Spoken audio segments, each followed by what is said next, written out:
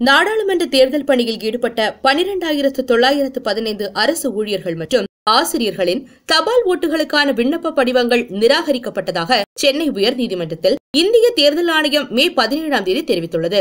நாடாளுமன்ற மற்றும் சட்டமன்ற இடைத்தேர்தல் பணியில் ஆசிரியர்கள் மற்றும் அரசு ஊழியர்கள் ஈடுபடுத்தப்பட்டனர். இவர்களில் ஒரு லட்சத்திற்கும் மேற்பட்டோரின் தபால் வாக்குகளுக்கான விண்ணப்ப படிவங்கள் நிராகரிக்கப்பட்டதை எதிர்த்து சென்னையை சேர்ந்த அரசு பள்ளி ஆசிரியர் சாந்தகுமார் என்பவர் சென்னை உயர்நீதிமன்றத்தில் மனு தாக்கல் செய்திருந்தார். அதில் தேர்தலை நியாயமாகவும் நேர்மையாகவும் நடத்த வேண்டும் எனவும் ஒரு வாக்காளரின் வாக்கு கூட விடுபடக்கூடாது என்ற விதிகள் உள்ள நிலையில் தேர்தல் பணியில் ஈடுபட்ட ஆசிரியர்கள் மற்றும் அரசு ஊழியர்கள் தபால் ஓட்டு மூலம் வாக்களிக்க விண்ணப்ப படிவங்கள் பனிரெண்டு பனிரெண்டு ஏ முறையாக வழங்கப்படவில்லை எனவும் சிறு காரணங்களுக்காக கூட தபால் வாக்குகள் நிராகரிக்கப்பட்டதாக குற்றம் சாட்டியிருந்தார். மேலும் அரசு பணியாளர்களான காவல்துறையை சேர்ந்தவர்கள் தொன்னூறாயிரத்தி இரண்டு தபால் வாக்குகள் முழுமையாக பதிவான தகவலை வெளியிட்டுள்ள தேர்தல் தேர்தல் ஆணையம் அரசு ஆசிரியர்கள் மற்றும் ஆசிரியர்களின் தபால் வாக்குகள் குறித்த தகவல்களை வெளியிடவில்லை எனவும் தெரிவித்துள்ளார். எனவே தேர்தல் பணிகளில் ஈடுபடுத்தப்பட்ட தபால் வாக்களிக்க தவறிய அரசு ஊழியர்கள் மற்றும் ஆசிரியர்களுக்கு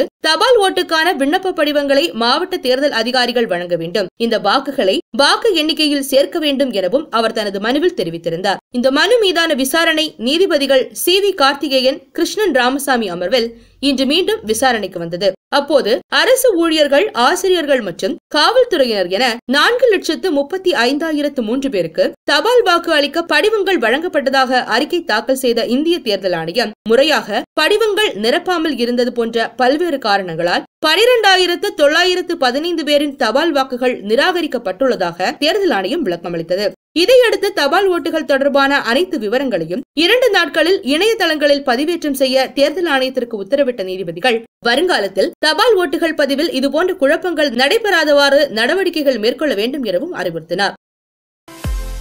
மின்னம்பலம் யூடியூப் பேஜை சப்ஸ்கிரைப் பண்ணுங்க.